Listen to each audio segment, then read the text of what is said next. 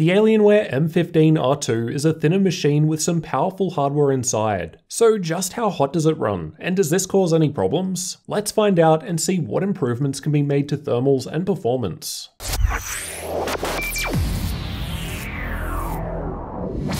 The M15R2 is available in different configurations. Mine has an Intel i7-9750H processor, NVIDIA RTX 2080 Max-Q graphics, and 16GB of memory and dual channel, so expect different results with different specs. You can find updated prices for different configurations linked in the description. Air comes in from the bottom, in through the vents above the keyboard, and is exhausted out of the left and right sides towards the back, and rear left and right corners. There are a couple of fans inside, with heat pipes shared between the CPU and GPU. The Alienware Command Center software lets you select different performance modes, including quiet, cool, balanced, performance, and full speed. And these adjust fan speeds and power limits. There are also a couple of overclocking modes, 1 and 2, which overclock the GPU by these amounts. Thermals were tested with a 21 degrees Celsius ambient room temperature. Idle results down the bottom were on the warmer side, but no real issue with that. Worst case stress tests were done with the AIDA64 CPU stress test with CPU only checked, and the Heaven benchmark at max settings at the same time. And gaming was tested with Watch Dogs 2, as I find it to use a good combination of processor and graphics. The CPU would run up to 100 degrees Celsius. However, I'm showing average temperatures here, as it would throttle back down a bit once 100 was hit, making 99 the highest reported average.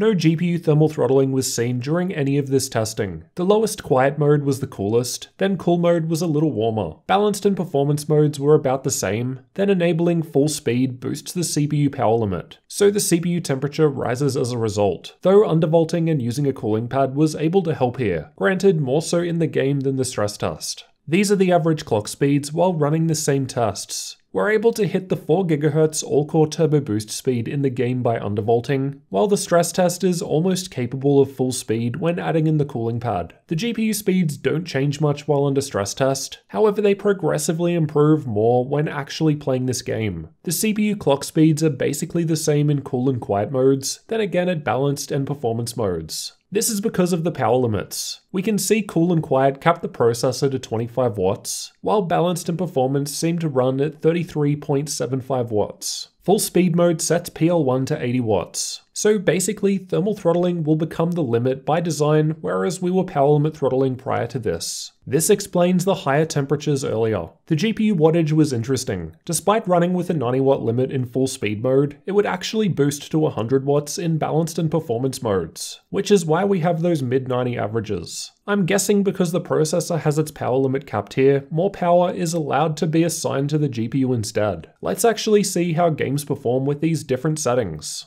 I've tested Shadow of the Tomb Raider with the highest setting preset using the game's benchmark tool. As this is a GPU heavy test and our GPU power limit is basically always fairly high regardless of setting mode, we're still able to hit 80 FPS even with quiet mode, while undervolting in full performance mode got us a couple of extra frames. I thought the higher GPU power limit seen in performance mode might have given it an edge, but nope, full speed did better. Playing more CPU intensive games like Watch Dogs 2 worked alright in quiet mode too, so gaming there was possible for both CPU and GPU demanding titles. If you want to see more gaming benchmarks from the M15R2, check the card in the top right or link in the description where I've tested 20 games at all setting levels. Now let's take a look at a CPU only workload with the GPU idle. Here are the clock speeds while running the AIDA64 CPU stress test with all the default options checked. So we could only hit the 4GHz all-core turbo speed with the undervolt in place. Thermal throttling was taking place in balanced mode and above. However, the undervolt was able to reduce temperatures a little, and this is because less power was needed to hit full speed. Here are some Cinebench results to give you an idea of CPU-only performance when the GPU is idle. The results when undervolted are actually very nice for this test. This is basically a best case 9750H score, at least for multi-core. And that's because the 4GHz all-core turbo was constantly being hit with the undervolt in place. It was running in the mid 90 degree range, but this is simply due to the higher power limits that are possible in CPU only workloads. As for the external temperatures where you'll actually be putting your hands, at idle it was in the mid 30s in the center but warmer up the back. With the stress tests running in quiet mode, it gets to around 50 in the center,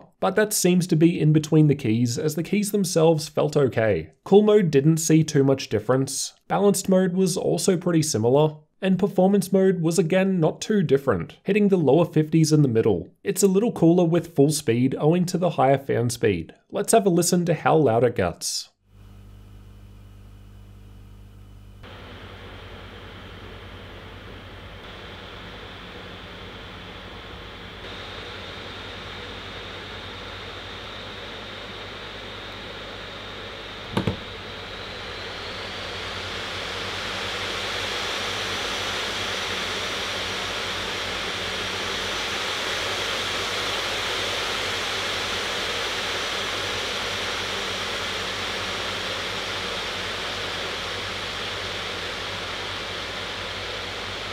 At idle in quiet mode, it was completely silent. There was some extremely subtle coil whine, but this wasn't noticeable once the fans were going. With the stress tests going in quiet mode, it's still on the quieter side. Cool was a little louder, balanced and performance were a little louder still, though about the same as each other. Full speed mode was strange. When you first enable it, the fans spin up louder to about 58 decibels, which is quite loud. However, it only lasts for a few seconds before spinning down to around 52 decibels, which is where it remained indefinitely. This is strange because full speed isn't actually giving us full speed. While it does for the first few seconds, then it slows down. Granted, the slowed down speed is still faster than any other mode, it can clearly go faster. I tried making a custom fan profile in the Alienware Command Center software and set both to max speed, but I had the same issue as the full speed profile. Considering thermals can run hotter in this machine due to the high power limits, it would have been good if we could actually utilize these faster fans if we want to. Considering that the M15R2 is around 2cm thick and is paired with some pretty good specs, I don't think these results are too bad here. Yes, it can get hot, however this seems to be down to the higher power limits that are configured. Many other laptops will just cap the processor wattage to 45 watts and call it a day. However, in full speed mode, the M15 is able to push beyond this.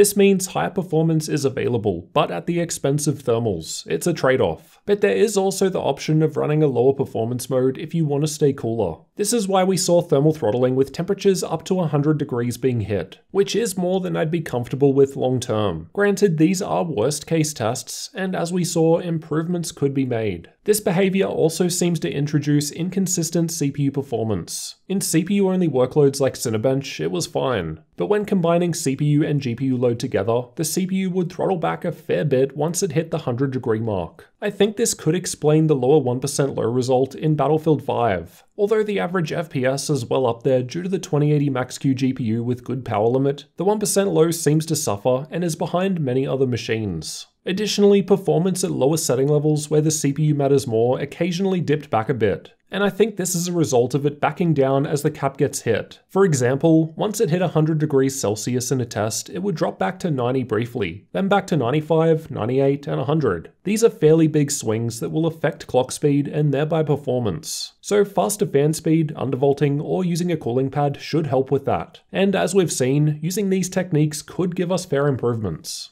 These differences in performance shown aren't hard and fast rules. There are different factors which will vary results, primarily the temperature of the room you're running in, application of thermal paste, and even the specific hardware which comes down to the silicon lottery. You may not be able to overclock or undervolt as much as me. It depends on the chip and its specific power requirements so you'll have to do some testing to find out what's best for your hardware. It may be possible to further improve temperatures by swapping the thermal paste. However, as this is a review unit that I have to send back, I'm not able to change the paste. Otherwise, the next reviewer will unknowingly report different results due to what I've done. Let me know what you thought about the thermals from the Alienware M15R2 gaming laptop down in the comments. And if you're new to the channel, you'll definitely want to get subscribed for the upcoming full review to see everything this machine has to offer.